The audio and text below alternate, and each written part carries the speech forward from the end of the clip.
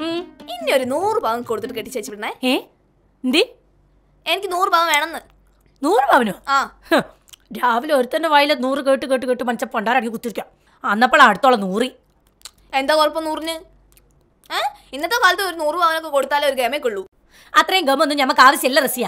എനിക്ക് നൂറ് പവൻ തരുമില്ലേ നൂറ് പവനോ? ദാ മത്തിന്റോ ഐലൻഡോ പള്ളേന്ന് എന്തെങ്കിലും നീതി കിട്ടിയാൽ എനിക്ക് തരാം.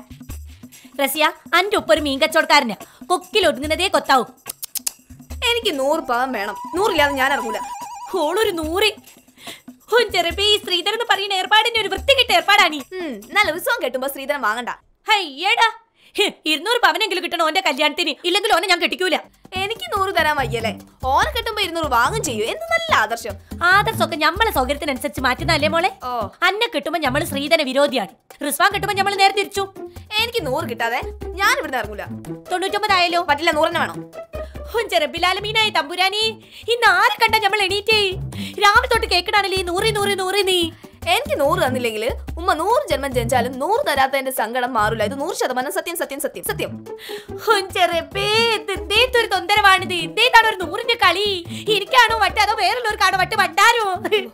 പാത്തുവോ ആന്തേത്താ ഇതാ ഇതങ്ങോട്ട് കൊണ്ടുവച്ചോ. ആ മുസക്കയ്യേ ഇക്കൊരു നൂറുപ്യമാണേ. എന്റെ ഇപ്പൊ ഒരു നൂറ് പേന്റെ ആവശ്യം ഇക്കിവിടെ നൂറുകൂട്ടം കാര്യങ്ങൾ ഉണ്ടാവും നിങ്ങൾ വാചകം അടിക്കാണ്ട് പൈസ കൊണ്ടുവരി അഞ്ഞൂറ് റുപ്യ ബാക്കി കൂടെ തന്നാ മതി. അങ്ങനെയാണ് എനിക്ക് മാണ്ട. ഇക്ക് നൂറുപ്യ മതി. ബാക്കി തന്നാ മതിയടോ. ഇക്ക് മാണ്ടാന്ന് പറഞ്ഞില്ലേ? ഇക്ക് നൂറ് മതി. നമ്മളെ കയ്യിൽ ചേഞ്ച് ഇല്ല പത്തു അതുകൊണ്ടാണ്. അഞ്ഞൂറ് റുപ്യ എന്നാ അതുകൊണ്ട് പായനോളാണല്ലോ ഈ ഇന്നെന്ത് പറ്റി? ഇക്ക് നൂറ് മതി. അത് തരാൻ പറ്റുമോ നിങ്ങൾക്ക് ഇല്ലാത്ത സാധനം നമ്മൾ എങ്ങനെ ഉണ്ടാക്കി തരാനാണ്? ഞമ്മക്കിവിടെ നൂറിന് നോട്ടടിക്കുന്ന പരിപാടിയൊന്നുമില്ല. കെട്ടിയോൾ ഒരു നൂറ് റുപ്യ ചോദിച്ചാൽ അത് തരാനില്ലാത്ത ഒരു ഭർത്താവ്. എടി നൂറില്ല അഞ്ഞൂറുണ്ടല്ലോ. അഞ്ഞൂറ് ആർക്ക് മാണേ? നൂറിന്റെ സ്ഥാനം അഞ്ഞൂറിന് നികത്താൻ പറ്റൂല. നൂറെന്നും നൂറ് തന്നെയാ. എന്ത്? നൂറ് എന്ന് പറഞ്ഞാൽ അതിന്റെ ഒരു ഗമ വേറെ. അഞ്ഞൂറുണ്ടോലെ? നാണല്ലോ മനുഷ്യ. നൂറ് റുപ്യ അല്ലാണ്ട് പൊരേനെ പടി കയറി വരാനീ? പാത്തു അനക്കെന്താ പറ്റിയത്?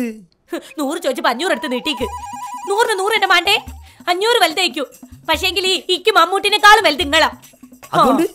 അവിടേക്ക് നൂറുപ്യമാണോ എന്റെ പടച്ചോനെ ഈ നൂറിന്റെ സൂക്കനാണല്ലോ എല്ലാവർക്കും. രാവിലെ തന്നെ ഒരുത്ത നൂറിന്റെ കഥ പറഞ്ഞിട്ട് നമ്മളെ പ്രാന്ത് പിടിപ്പിച്ചിട്ട് അപ്പൊ വീട്ടിൽ വന്നപ്പോ അന്റെ വക നൂറ്.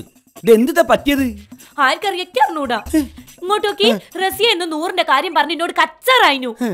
വേറൊരു കാര്യണ്ട്? രാവിലെ തന്നെ ഒരു പിച്ചക്കാരൻ വന്ന് ഓനുമാണ് നൂറുപ്യാന്നി. പിച്ചക്കാരൻ പിച്ചക്കാരന് നൂറ് റുപ്യയോ ആ എന്തോ ഒരു പ്രശ്നം ഉണ്ട് കേട്ടോ മുസക്കായി ഞമ്മക്ക് എല്ലാത്തിനും ഇനി വട്ടാണോ? ആർക്കറിയാ?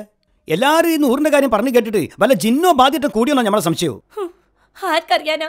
റിസ്വ മാത്ര നൂറിന്റെ കാര്യം പറയാത്തേ. ബാക്കി എല്ലാവർക്കും നൂറിന്റെ സുഖം കുടിക്കണേ എന്തേ തമൂസക്കായത് എന്നോട് ചോദിച്ചിട്ട് എന്താണ്? ഇജ്ജല്ല എന്നോട് നൂറുപ്യ റുപ്യ ചോദിച്ചേ ഇജ്ജനെ ആലോചിച്ച് നോക്ക് പഠിച്ചോനെ നേരാണല്ലോ. എന്തേ താന്ന് അറിഞ്ഞൂടാ. അറിയാണ്ട് നമ്മൾ നൂറ് നൂറ് വന്നു പോവുക. ഈ പൊരയിൽ കുഴപ്പമില്ലാത്ത റിസ്വാന് മാത്രം. ഏ ഞമ്മക്കും കുഴപ്പമില്ലല്ലോ. നിങ്ങൾ നൂറ് പറഞ്ഞില്ലെങ്കിലും നിങ്ങൾ കേക്കണ മുയ്മ നൂറിന്റെ വർത്താനല്ലേ? പത്തു ഈ പേടിപ്പിക്കല്ലേ പത്തു ഈ മാത്രം നൂറിന്റെ കുഴപ്പത്തിൽ നിന്ന് രക്ഷപ്പെട്ട്. എടോ ഞാൻ നൂറല്ല നൂറല്ല നൂറല്ല എന്ന് എന്നോട് നൂറ് പ്രാവശ്യം പറഞ്ഞില്ലേ? നിങ്ങൾ ഇങ്ങോട്ട് നൂറ് തവണയെങ്കിലും വിളിച്ചില്ലേ? നൂറ് തവണ ഞാൻ പറഞ്ഞില്ലേ സുഹൃത്തെ ഞാൻ നൂറല്ല നൂറല്ല നൂറല്ല എന്ന് എന്നിട്ട് വീണ്ടും വിളിച്ചിട്ട് നൂറല്ല തന്നോട് നൂറാണോ നൂറാണോ എന്ന് ചോദിച്ചാ ഞാൻ നൂറ് ചിലപ്പോ പായി പോവും. വിളിച്ചിട്ട് നിങ്ങൾ നൂറ് ഉറുപ്പെങ്കിലും പോയിണ്ടാവില്ല സുഹൃത്തെ? ഈ പെരയുള്ളവർക്കൊക്കെ എന്തോ ഒരു പ്രശ്നമുണ്ട് മോനെ. എന്ത് പ്രശ്നം? അനക്കിപ്പോ നൂറൊരു പ്രശ്നല്ലേ? ആണ്. ഈ പൊരയുള്ള എല്ലാവർക്കും നൂറൊരു പ്രശ്നം. അതാണ് പ്രശ്നം. രാവിലെ മുതൽ നൂറ് നൂറ് നൂറ് എന്ന് പറഞ്ഞിട്ട് എന്റെ തലയ്ക്ക് ഭ്രാന്തായിക്കുന്നത് അനക്ക് പറഞ്ഞിട്ടല്ല ഭ്രാന്തായത്? ഞമ്മക്കത് കേട്ടിട്ടാണ് ഭ്രാന്തായത്. ഞാൻ നൂറ് പവന്റെ കാര്യം വിട്ടു. രസപ്പെട്ട്. എനിക്കൊരു നൂറ് സി സി ഉള്ള സ്കൂട്ടർ വാങ്ങി പിന്നെ നൂറ്? എന്തിട്ടാ നൂറിനൊരു പ്രശ്നം? നൂറ് പവൻ എന്തായാലും തരില്ല. പിന്നെ നൂറ് സി സി ഉള്ള സ്കൂട്ടറെങ്കിലും വാങ്ങി തന്നൂടെ?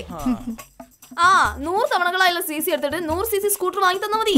എല്ലാവർക്കും കൂടി പോയിട്ടേ ഒരു ഒരു മനോരോഗ വിദഗ്ധനെ പോയി കാണാനല്ലേ ആൾക്ക് നൂറ് പേജിട്ട് വെച്ചിട്ട് കൺസൾട്ടിംഗ് ഫീസ് ആവും. ഇതാ പിന്നെ നൂറ്. എന്താ മനോരോഗീനെ കണ്ടാലേ. മനോരോഗ ഡോക്ടറെ കണ്ടാലെന്ന് പറ. ആ കണ്ടാ നമ്മൾ പ്രശ്നങ്ങൾ തീരുമോ അങ്ങനെ പ്രശ്നം തീർന്നില്ലെങ്കിൽ നമുക്കൊരു നൂറ് പേന്റെ ബസം അങ്ങനെ കഴിക്കാം. പിന്നെ നൂറ്. നിങ്ങൾ എന്ന് പറയാ? ഹലോ. അന്റെ നൂറ് ചത്തടോ ഞാൻ നോക്ക് ഈ നൂറിന്റെ വർത്തമാനം പറഞ്ഞു തന്നാലേ സമയം നൂറിന്റെ വൈക്ക് അങ്ങോട്ട് പോകും. എല്ലാരും കൂടി പോണെങ്കിൽ ഒരു ഓട്ടോ വിളിക്കണമെങ്കിൽ ഓട്ടോന് കൊടുക്കണം നൂറ് റുപ്യ എന്റെ മൂസക്ക ഇങ്ങക്ക് തുടങ്ങി കിട്ടോ നൂറിന്റെ സുഖയുടെ എന്നാ പിന്നെ നമുക്ക് വേഗം ഇറങ്ങിയാലോ? ആ. ഞാൻ ആ നൂറ് രൂപക്ക് വാങ്ങി ചെരുപ്പിട്ട് വരാം. ഓ പിന്നെ നൂറ്. എന്തെങ്കിലും ചെയ്യ പോയിട്ട്. എനിക്കൊരു നൂറ് എന്തിനാ എനിക്ക് ഫോണിൽ റീചാർജ് ചെയ്യാനാ. ഡാ നൂറിൽ നിന്ന് പറയാണ്ടൊക്കെ പറ്റും നിങ്ങൾക്ക്? ഒരു പത്ത് മിനിറ്റ് പറയണ്ടെന്നാൽ നൂറ് റുപ്യ സമ്മാനം തരും ഞാൻ. സത്യോ? സത്യോ. ഉറപ്പ്. നൂറ് റുപ്യ സമാനം തരൂ. ദേ ഉപ്പം പറഞ്ഞു നൂറ്